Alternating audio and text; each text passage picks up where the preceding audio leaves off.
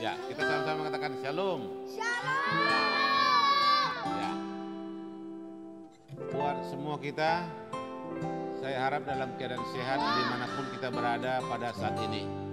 Dalam kesempatan ini, saya didampingi oleh anak-anak sekolah minggu HKBP Balikpapan Baru. Ini di samping saya Nathanael Pasaribu,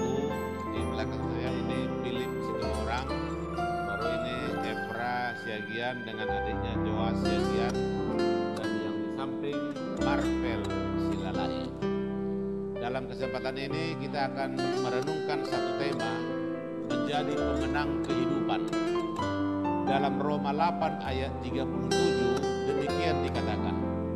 Tetapi dalam semuanya itu kita lebih daripada orang-orang yang menang oleh Dia yang telah mengasihi kita.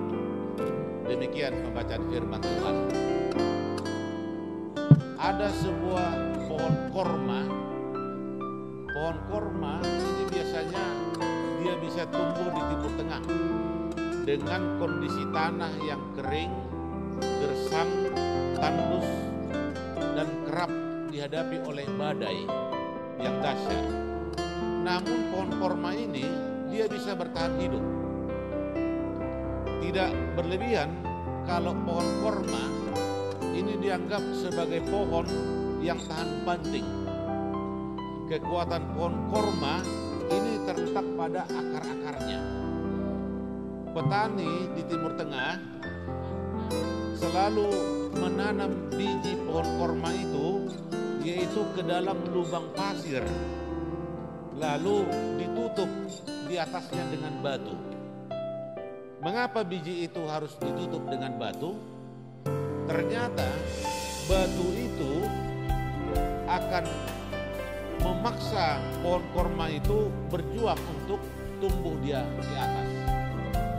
Justru karena pertumbuhan batang pohon mengalami hambatan, itulah yang membuat akar menjadi maksimal dan menggeser batu yang ada di atasnya. Setelah akarnya kuat, barulah biji pohon korma itu bertumbuh ke atas, bahkan bisa menggulingkan batu yang menekan di atasnya.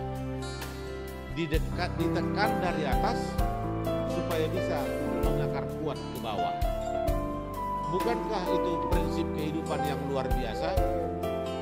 Sekarang kita tahu bahwa Tuhan sering kali mengizinkan tekanan hidup dalam kehidupan manusia.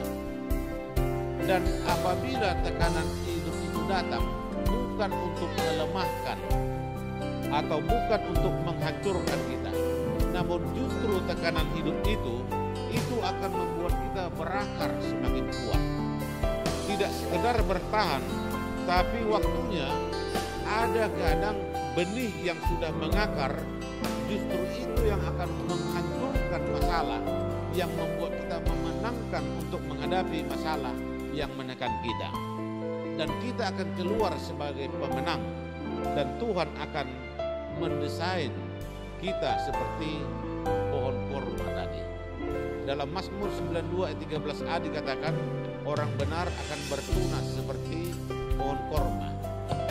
Karena itu milikilah selalu pikiran yang positif karena tekanan hidup tidak akan pernah bisa melemahkan.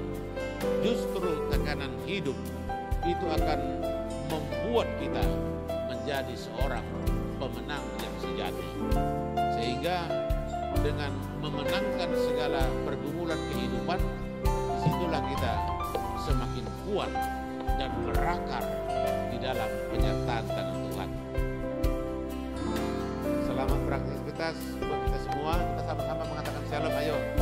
Shalom. Tuhan Yesus memberkati kita semua. Amin. Ya, dadah.